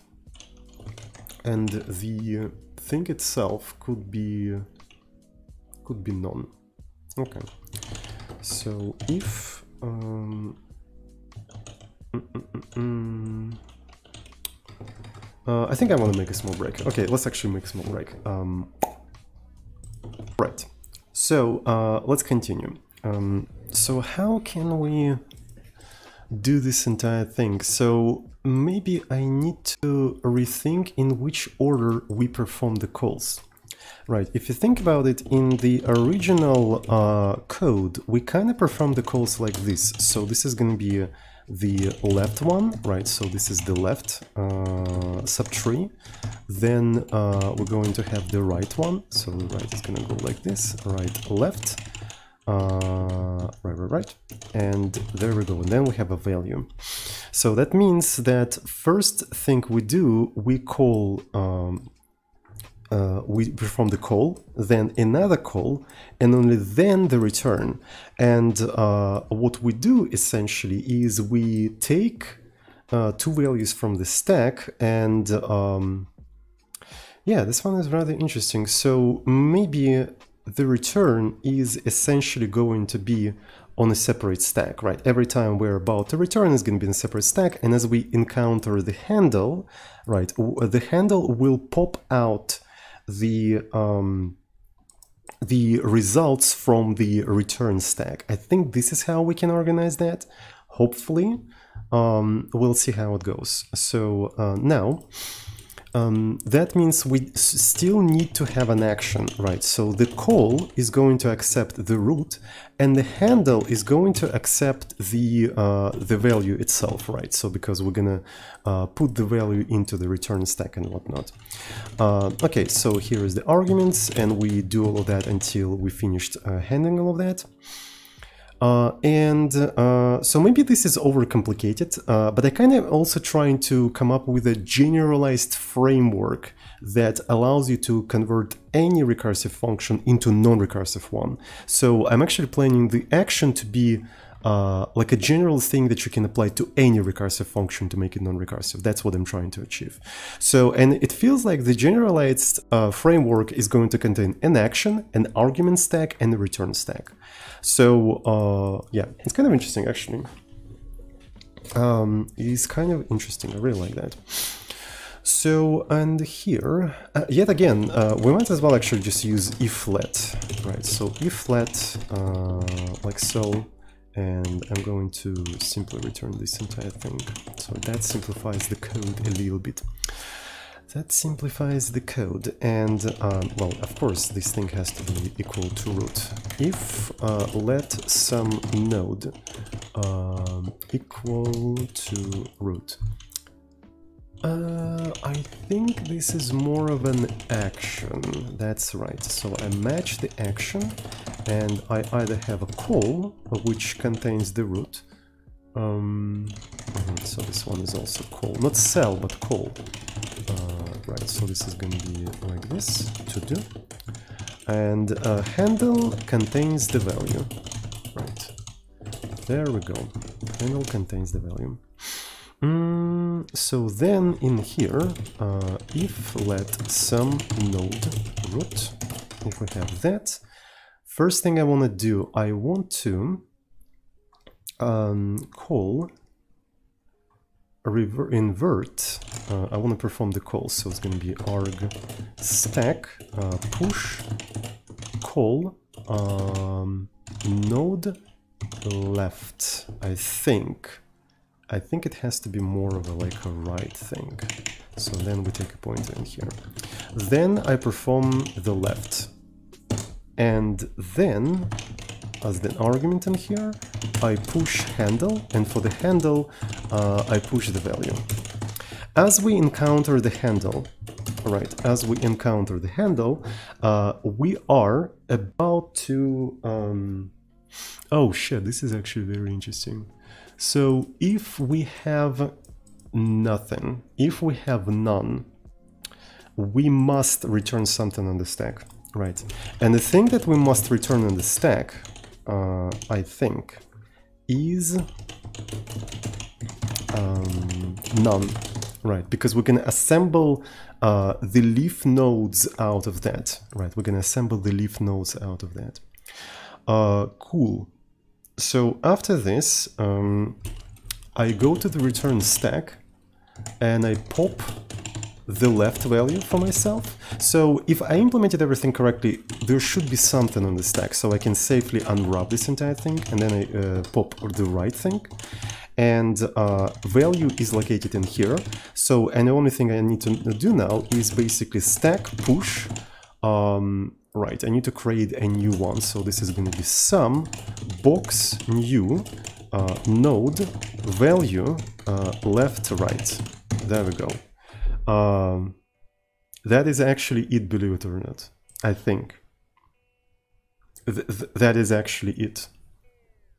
So after that, uh, I want to do the following thing. Uh, I want to return uh, return stack uh, pop so I'm popping the value after return stack and I know that it contains something if the uh, tree is correct and I just return this entire thing. So this is like a general idea uh, of this entire stuff. Will it work? I have no idea actually. Maybe it will. maybe it will not. Uh, so the value, I think value has to be cloned. So I have to explicitly do something like value clone. Uh, and let's go to the compilation errors. Uh, how many of them we're gonna have? So uh, this one needs use action. Uh, so we don't prefix it all the time. Uh, okay, invert tree expected, but it already fails in a different one. Uh, alright, alright, alright, so that means here else has to be just no, none. Uh, right. Why the fuck did it compile? Okay, so uh, let's try to use a non-recursive one. Uh, non-rec. Uh, okay. Okay, so it panicked. Nice, I really like that. Uh, so it panicked. Uh, 82. Uh, and it panicked literally here. Would you look at that? Would you freaking look at that? That's very interesting. Hmm. Mm, mm, mm, mm.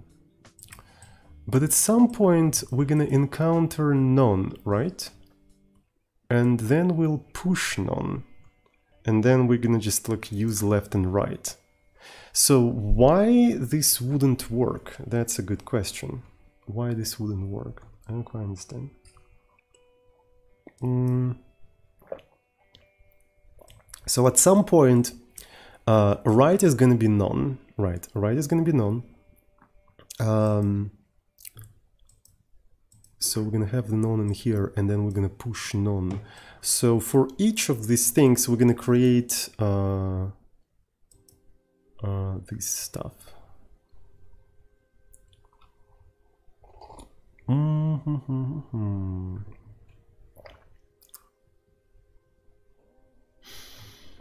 Mm-hmm.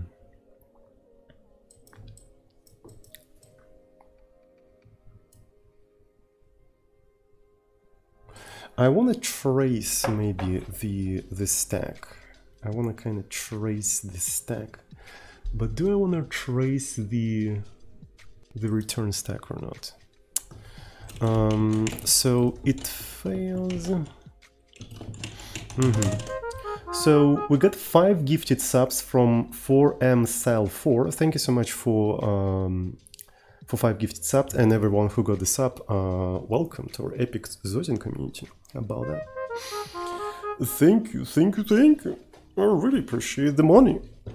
Um, I really need them after the hackers will steal all of my revenue because all the data is leaked. So, yeah, thank you so much. Mm, so, do, do, do, do, do, do, do. Oh my god, we, we got even more subs. Uh, so um, thank you, thank you so much for uh, for another ten tier one subs. So yeah, it will go for a while now. So it's gonna be what's quite some time. Uh, so um, mm, mm, mm, mm. Mm. That one is very, very interesting. That one is very, very interesting. so uh, let me see. So maybe on each iteration we can uh, print this kind of thing. Um, so it's going to print ln, uh, and we're going to have an action, uh-huh, and uh, we just print the action. And then uh, I also want to maybe print the uh, return stack, right? So here is the action, we perform the action, and we print the return stack after that, uh, like so, uh, red stack. And uh, on each of the iteration, also we're gonna do something like this. So we're gonna basically trace uh, and see how it goes. So it doesn't even compile properly. This is because action is not debuggable. Uh, let's actually quickly make it debuggable. Uh, derive, uh, debug. Okay. So what else do we have? Um, mm, mm, mm, cannot be formatted, so uh, that means we also have to say that this thing has to be also debuggable, right? We want to be able to debug that. Uh, debug is not a trait. Uh, this is because we also need to import it from here. Uh, cool. So we perform the call, right? So here is the call. Um, right, and then we've got right away Action handle 1. I see. I'm an idiot. Oh, and that explains... Well, that doesn't explain anything, actually. Yeah, that explains. So we have to push them in a different order, because we push the calls, so handle is going to be at the top that explains it. Okay. Uh, oh my god, my brain thought that at the top you're gonna have this call, then this call, and then handle is gonna be below both of them. Be because I read them from top to bottom, and my tired brain uh, thought, yeah, okay, so that explains it. So I'm really glad that I decided to trace this thing, and it actually revealed that it has to be in a different order. So first we have to push uh, the handle, and then we have to push the left. And that explains why in, the, uh, in a non-recursive print, it printed them in reversed order because my, my brain also thought in, in that, oh my god. I see. That explains everything. That explains everything. So this is the top, right? And we pop the top for the left and then, okay, so that explains absolutely everything. So that should work now. Um, right, I'm really glad. And uh, it didn't actually flip anything by the way. Didn't actually flip and the question is why? Um, so here's the left. Uh, maybe I have to just do it like that uh, and let me see. And now it flipped it. Okay that's that's pretty cool. Uh, that's pretty cool that's pretty cool. So I can remove this entire thing. Uh, and we have a non-recursive version of invert tree Seriously, no joke. So it's a non-recursive one, um, and maybe we can now uh, remove the recursive one. So we can compare them. Like this one is a little bit beefier, but what's interesting is that this is not limited by the size of the call stack. So you may say that this is kind of like a stupid exercise, but it's actually not. Uh, I think knowing how to do this kind of stuff is important when you're dealing with uh, very nested data. Your data is so nested that it is like you the call stack is not enough. You either have to increase your call stack, uh, right, or you have to reimplement your algorithm like that. Right, this thing is not limited by the call stack. This thing is limited by uh, the amount of, of your memory, right? So that's essentially what you can do. So you have a full control of the of this entire stuff. Hey, what color scheme are you using? I'm using a color scheme called Gruber Darker. Uh, uh, I'm gonna give you the link, uh, Gruber Darker. Hey, hey, Zozin, how are you doing? Also Visser Turchan și Twitch Passport and Turn on 2 Factor Authentication și Twitch Just Got IT SD Trechet. Thank you, Aaron Kronos, for a nine month of tier one subscription. Thank you, thank you, thank you. Uh, yes, I know about the data breach. Uh, I'm gonna uh, switch my password, and uh, two-factor authentication is already enabled for me. Uh, as far as I know, it is enabled for every partner and um, affiliate, because Twitch refuses uh, sign up a contract for you unless you have two-factor authentication turned on. I think if I remember correctly, do we have any affiliates or partners? Because I actually signed up the contract long time ago, but I vaguely remember that it forces you to enable to, to FA if you're signing up the contract with them. Uh, yeah, yeah, yeah, so yeah, so every partner and affiliate they have enabled two-factor, otherwise they just don't refuse to sign up. Um, mm, well, now we know why they knew that their security shit. well, I mean, it makes sense. It makes sense. Uh, darker theme. Uh, so this is my theme for Emacs that I use, and I'm gonna also put it into the uh, into the description for people who uh, watch me on YouTube. And by the way, if you watch on Twitch uh, and you uh, want to know where I upload my VODs, I upload them here. You can find the link in the chat. Um, all right, so um, my color, my current uh, color theme, because I change them once in a while because I get tired of them. So yeah, so it's it's the current one. Um, all right.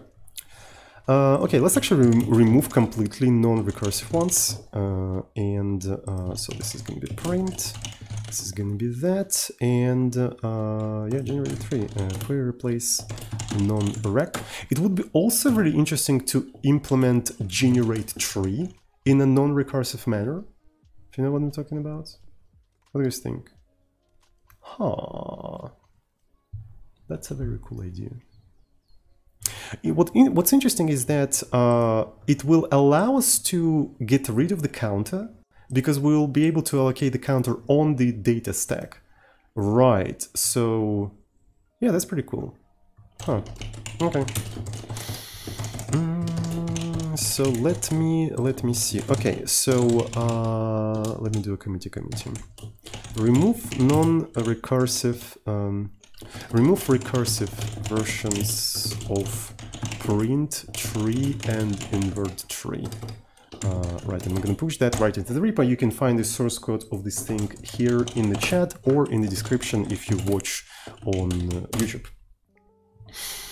Uh, so, and I guess the last challenge that, that I want to take is re-implementing generate tree uh, in a non-recursive manner, right? And I think since we know how to handle return values, it should be relatively simple to do, uh, right? So we're gonna have something like fn um, allow uh, dead code uh, generate generating get seed throw another run never-ending cycle such resetting again Okay, so what we're gonna have? Uh, so we're gonna have argument stack and the uh, return stack. Uh, arg stack. Um, mm, mm, mm. So it's definitely going to be an action. So the call action is going to contain what? Mm, what is it going to contain?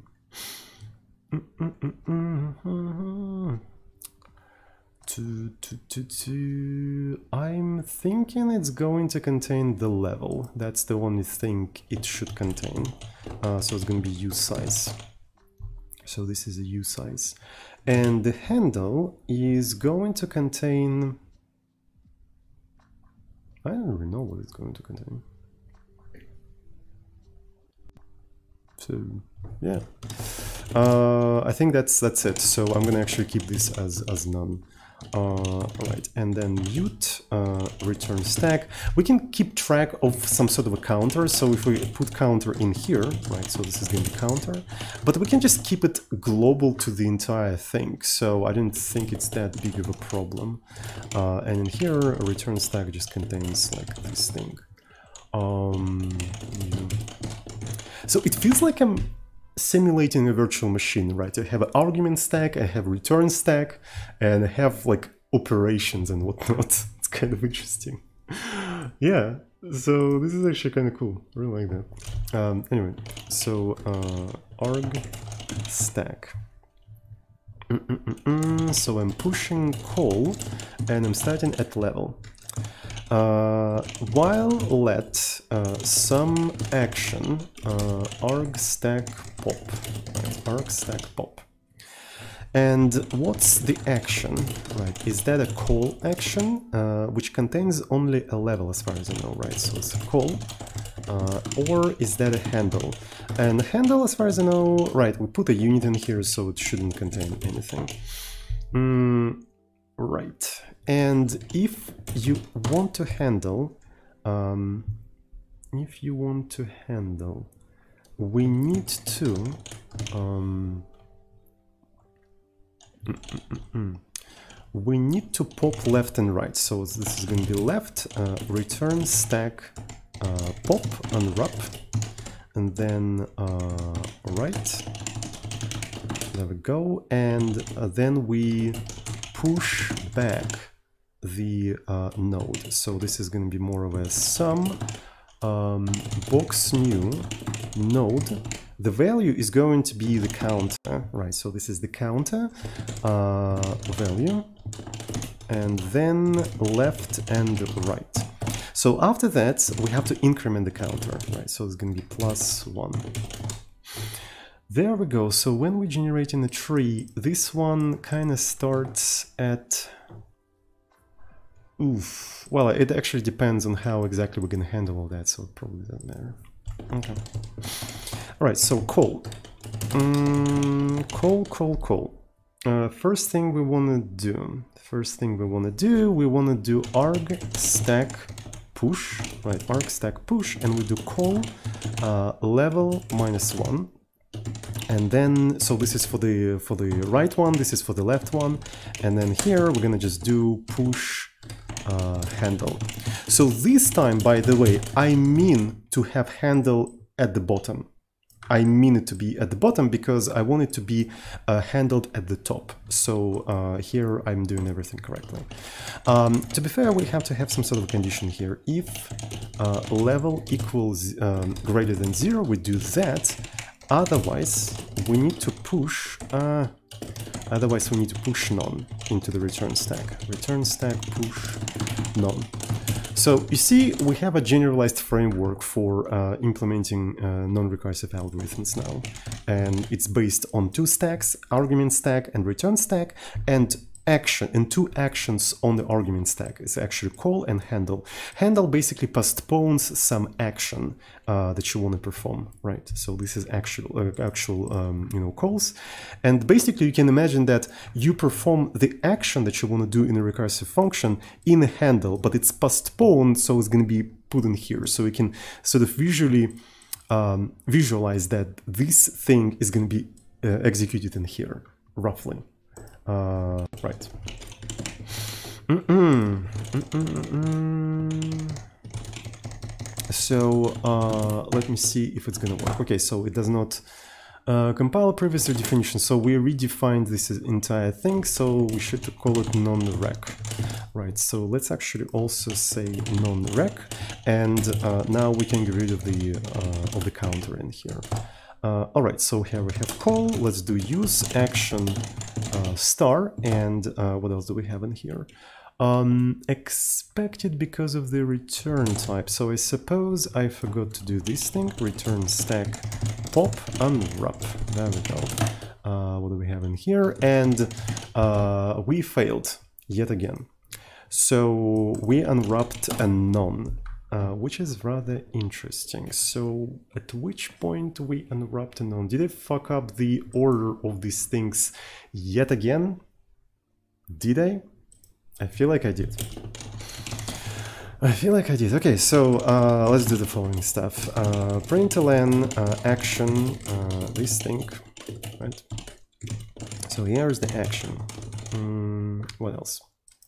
And then uh, we're going to have print uh, ln uh, a return stack, right? So here's the return stack, a red stack, uh, and let's see what's gonna happen. So at which point it fails. Cool. So here's the action, and uh, after performing this action, return stack does not contain anything, right? It does not contain anything, uh, and I'm an idiot, I think. Uh, so when I'm generating the tree, when I'm generating the tree, oh yeah, I see. Mm. I'm actually returning the, yeah, handle has to happen here. Yeah, handle has to happen here. But counter is incremented up front, which means that the handle action has to be the value of the counter that you want to put in here. Uh, all right, so that means I need to increment the counter uh, in here. I'm incrementing the counter in here. Uh, then I'm using the value of the counter in here, and then I'm postponing left and right. So then uh, the actual value that, that I want to use is going to be used in here, uh, and uh, there we go. So tracing action and return stack is actually very useful. I really like that. I really like the technique of just like tracing them. Um, so that's pretty cool. Okay, so we have that. At some point it will turn none, and then it will actually produce the expected result. There we go.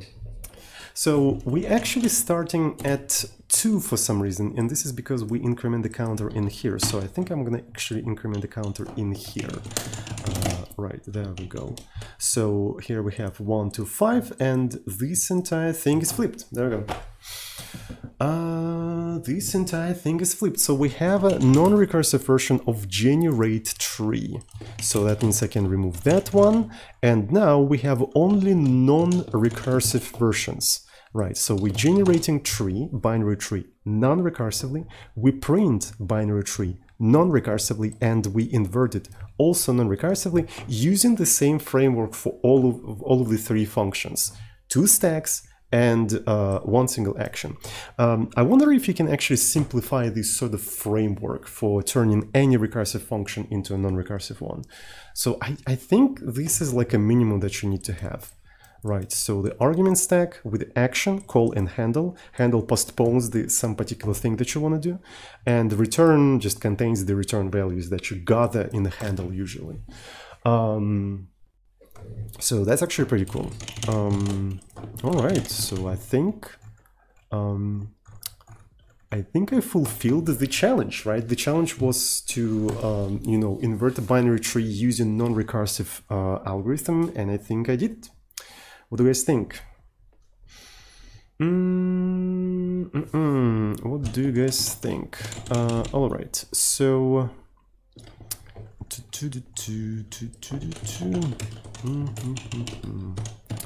Okay, um, implement uh, non-recursive uh, recursive version of generate uh, tree, and I'm gonna push that right into the repo. Uh, so you can find the source code uh, here in the chat if you're watching live, or you can find it in the description. Uh, two, two, two. So yeah, that's pretty cool. So, and since I now I know how to, uh, you know, implement recursive stuff without using any recursion, I could probably implement some sort of a recursive algorithm in Porth. Right. So for those who doesn't know, Porth is a programming language that we are developing, usually on the streams, but I took a break from developing that uh, language. And one of the things about this, um, you know, about this language is that it's really early at its stage of the development, right? So it doesn't have much things. And one thing it doesn't have, it doesn't have a recursion.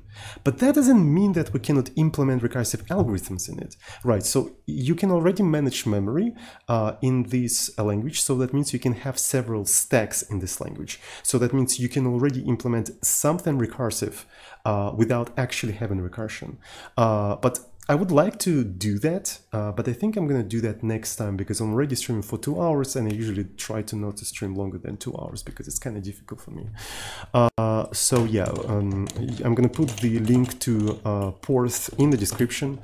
Uh, so Porth source code, uh, source code, gonna put it in here. And um, so I also wanna put a playlist uh, of the Porth development right? Because I think we already have like around 16, 17 episodes of Porth development. If you want to know how exactly we develop this language, uh, I'm going to put uh, the link to that language here in the description as well. So here's the playlist of the Porth development. Uh, so Porth development playlist. So, and for those who's watching on Twitch, you can find this playlist in here if you're interested. Okay. Does anyone have any questions? Does anyone have any question? Uh, so to, to, to inverting binary tree in Porth. Yeah, this is one of the things I wanted to do today, but unfortunately I already ran out of time. So maybe we're to do that next time. We're to have like a, a, separate stream dedicated to implementing inverting binary tree in Porth without using recursion. But maybe we can wait until we have a recursion in Porth because eventually we're going to have procedures. And once we have procedures, we're definitely going to have recursion. We'll see. Is there a performance difference between recursive and non-recursive algorithm? Probably. Um, I have no idea. I already removed recursive algorithms. I'm sorry. Probably there is a performance difference, but I don't think it's that much. So. Uh, do you go over uh, how Porth is parsing the source code? Well, it's actually not doing anything special. So the way Porth parsing source code, I'm going to show you Right, imagine that you have uh, some sort of a source code. So let's uh, wait until I, uh, IPython actually finishes the stuff. So uh, here is uh, a very simple uh, Porth code. so plus print. So this entire thing basically sums up two numbers, 34 and 35, 35 and prints it on, on the screen. So the way I parse this kind of source code is like this. That's it. So that's the only thing Porth does. No joke. Uh, so it does a slightly different thing for string literals. For string literals, we have to do a little bit of a complication, but generally, in a nutshell, if you get rid of the string literals, it is like that. Right. So majority of the complication that you will see in parsing is because of the string literals, right? Because uh, if you had a string literal like uh, hello world, uh, it would be parsed incorrectly if you just split it, right? So you see these two things were recognized as two separate uh, tokens, which is not correct. So just to fix that, we have a little bit of a complication. But apart from that, it's just like splitting by spaces, nothing special. Mm -mm -mm.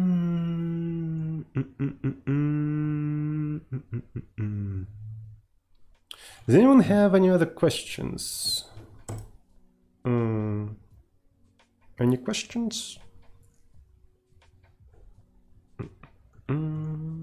I'm just looking into the chat and just like to, trying to find any questions.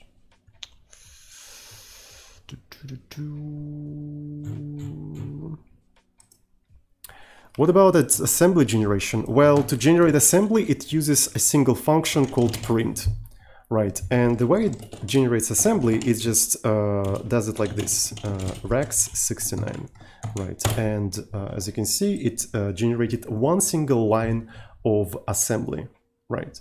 So, and basically we uh, generate multiple lines of assembly and then we assemble it with the with the final assembly. If you take a look at the source code of Porth itself, uh, right, so porth.py uh, generate, yeah, there we go, as you can see. Well, we're not using print, but uh, dot write is basically the same. It's just like prints it to, uh, to a file, right? So as you can see, we just generate an assembly, like, yeah, just with the print function. Everything is super simple. That's the beauty of this language.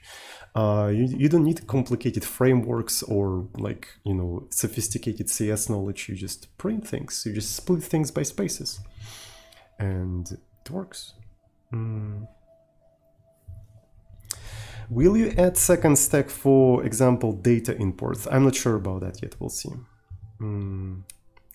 What do I want to do next? For the Porth, I want to start self-hosting it. Mm, I want to start self-hosting. Mm, mm, mm, mm all right, so maybe we should rate somebody. So because we got ready today, let's see if anyone is streaming anything on the software development section, software game development. Let's take a look. Uh, I wish the website. Uh, hackers who will get uh, and explore the source code of Twitch, please uh, make the Twitch faster and submit the patch to uh, to the Twitch developers, please. Or maybe I can do that myself. Right. So imagine taking the source code of Twitch on a stream and stream on Twitch how you make it faster. I'm not gonna do that by the way, it's a joke, but that would be nice. Um, okay, so uh, one life's um, left is streaming, so maybe we should raid him, uh, but maybe not, I'm not sure. I'm not sure who I wanna raid. Let me see. Oh my god. Uh, it's really, really painful. Uh, so what do we have? Uh, pixel art. So camel. There's a Jai, but one last left. We already raided them. We already raided them. Chill and code TypeScript. Is anyone doing anything interesting? So multiplayer C++. Uh, I'm sure. Is anyone streaming Rust? Do we have any Rust developers in here? Uh, any Rust developers? JavaScript. I don't know, man. I don't know. All right. As usual. All right. Thanks everyone for watching. I'm gonna go. Love you.